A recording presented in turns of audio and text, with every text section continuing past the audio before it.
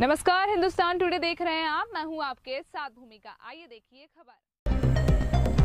चिरगांव महाराजा ढाबा के पास कानपुर हाईवे पर खड़ी बेबस खून से लथपथ गाय को सागर कुशवाहा ने देखा, जिसका पेट पूरा कटा फटा था। खेतों में लगे कटिया तारों में फंसने से गाय का सारा शरीर फट गया था। गाय खून से लथपथ खड़ी थी, सागर कुशवाहा ने गाय को ऐसी स्थिति में खड़ा देखा। तुरंत टीम सेवार्थियों के लिए बुलाई, गाय को लिटाकर उसको टांके लगाए गए। गाय की हालत अभी ठीक है, नगर में सेवार्थ सोशल वेलफेयर सोसाइटी चिरगांव द्वारा लगातार सेवा कार्य जारी है।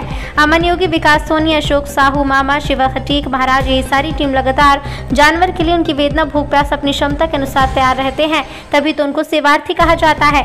सेवार्थ के साथ साथ पहल फाउंडेशन चिरगांव भी प्रत्येक रविवार अपनी क्षमताओं के अनुसार बेजुबानों को भोजन उपलब्ध कराते सेवा कार्य को उन्होंने फेरिंग फॉर डॉग नाम दिया है। आप सभी ऐसी संस्थाओं को सदैव सहयोग करने के लिए आगे आए।